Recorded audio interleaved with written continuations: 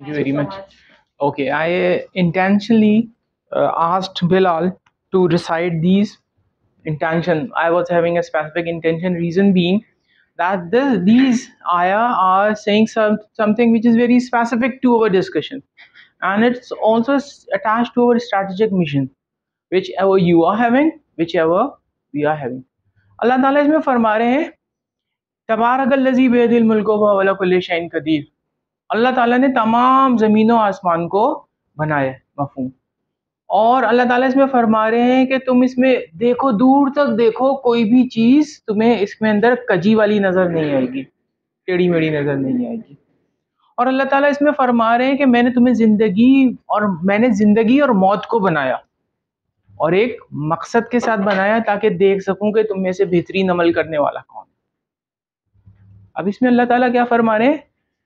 this life and hereafter they are not created uselessly they are created due to certain reason reason क्या है बेहतरीन अमल करने वाला कौन है अब डॉक्टर तूबा से हमारी बात हो रही है तो doctor Tuba what is according to you the best deed to be done in this world Um, for me, it will be that my patients, uh, right I could I could create an impact for my Right. patients through my knowledge, my skill, and my attitude. right very good and by chance if you are at your home what's the best deed there I think best deed uh, is the deed of kindness.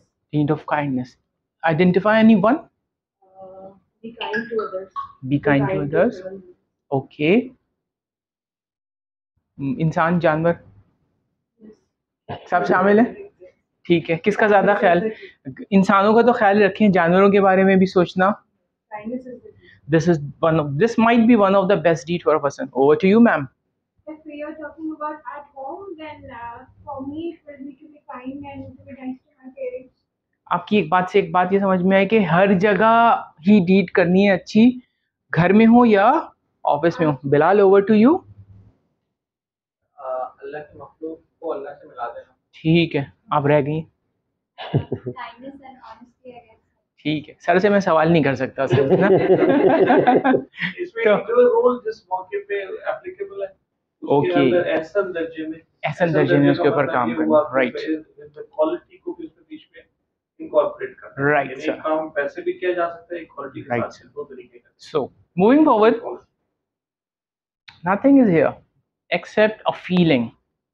So, can you share your feeling when you see this picture?